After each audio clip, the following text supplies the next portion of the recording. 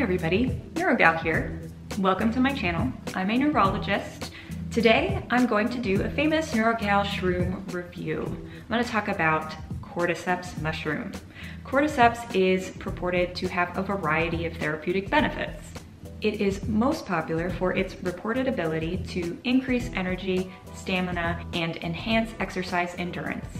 It's purported to enhance sexual function and libido. Its nickname is the Himalayan Viagra. And it's also thought to protect against asthma, depression, hold anti-diabetic properties, protect the kidneys, and enhance the immune system. Some athletes like Joe Rogan swear by it and use it prior to strength training. In fact, it's one of the active ingredients in many popular exercise enhancing supplements like Onnit's Shroom Tech it is considered an adaptogen, a term initially created in Russia used to describe herbal supplements that increase a person's resistance to environmental stressors. Adaptogens are also supposed to build up mental and physical vitality. Is there any evidence to support the claims about cordyceps adaptogenic benefits? By the way, I provide an unbiased evaluation of the scientific evidence on a supplement. There are plenty of videos out there trying to sell you different supplements. I am not one of them. Cordyceps is a fungus that grows on the heads of caterpillars. Creepy, no? Talk about zombie apocalypse. This makes it a parasitic fungus, not actually a mushroom. Its name, cordyceps, comes from the Latin words club and head, because it looks like a club growing out of the head of a caterpillar. Still can't get over that image. It grows in high altitudes and is endemic to the Himalayan mountains. It's used for a variety of medicinal purposes in Chinese and Tibetan medicine. Its properties were discovered when Himalayan herders observed that the goats and sheep that consumed cordyceps while grazing in the forest became very strong and resilient. These herders noticed these effects and began to give it regularly to their livestock to increase milk production and to improve the reproductive capacity and vitality of their cattle. Then, the herders themselves started consuming it because, hey, why not? And they became convinced of its medicinal benefits in enhancing strength, endurance, sexual potency, and desire. Is there any data in humans to support the claims that cordyceps has all of these adaptogenic benefits? Let's look at athletic performance first. Animal studies show promising results. Cordyceps has been found to improve physical endurance in mice in a dose-dependent manner. Cordyceps is thought to improve physical endurance by increasing cardiac muscle function, inhibiting the contraction of the trachea, which is the major breathing airway, and relaxes vascular smooth muscle. It also is thought to improve physical endurance by increasing lactic acid clearance. When someone uses a lot of muscle, like working out, muscles produce a lot of lactic acid, which in turn can make someone very, very sore and it can be very difficult to move when you have a lot of lactic acid buildup. So cordyceps is thought to increase the clearance of lactic acid from your body. What about human studies? A study performed in 2010 found that administration of cordyceps to participants aged 50 to 75 modestly improved exercise performance. So that's good news.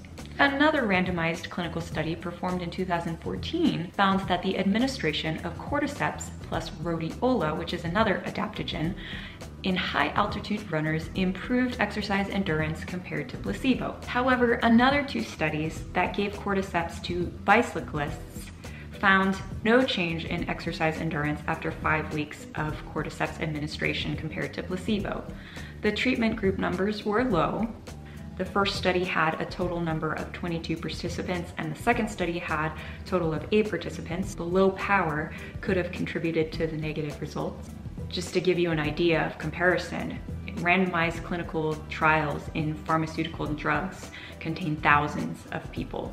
The more participants in a study, the higher the power. So the greater the chance that you'll identify a true result. I think that more studies should be done and hopefully some clinical trials with a lot of participants can be performed to truly identify whether cordyceps can improve uh, physical endurance and vitality. Let's move on to the second topic. Is there any evidence to support that cordyceps can act as a libido booster or enhance sexual performance?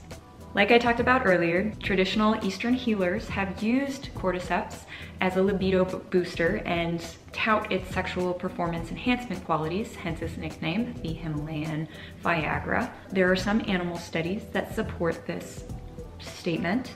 Cordyceps has been found to increase testosterone production in mice in multiple studies.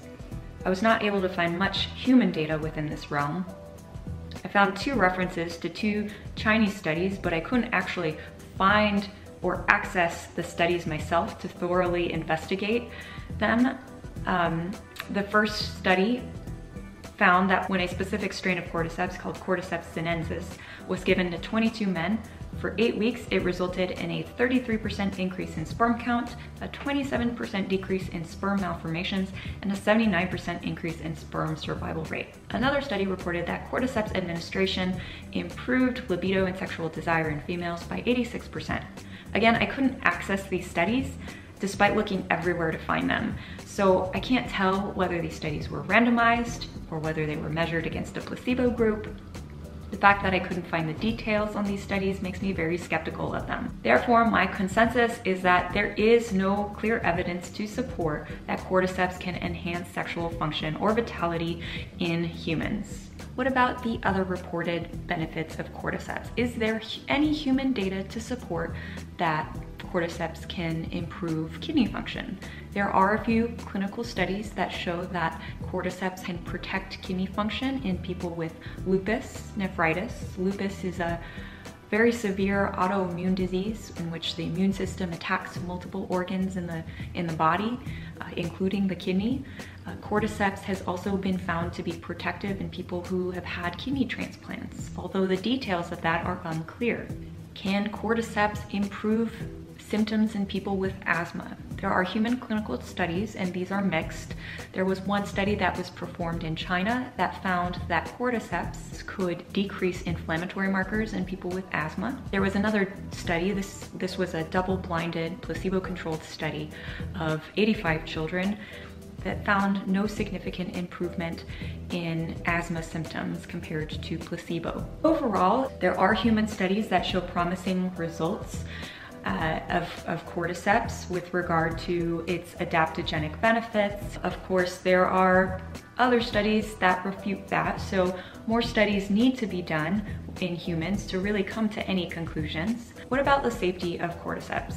Cordyceps can be harmful in certain situations. Cordyceps has been shown to increase the proliferation of certain blood cell types, so it may worsen certain blood cell cancers. Cordyceps also has anti-diabetic properties, so in a person who is taking anti-diabetic medication, it can lower your blood sugar to dangerous levels. Cordyceps also has blood thinning properties, so people who are on blood thinners already could have an increased risk of bleeding if they take cordyceps. There have been a couple of case reports identifying lead poisoning in people who are taking cordyceps for herbal treatment.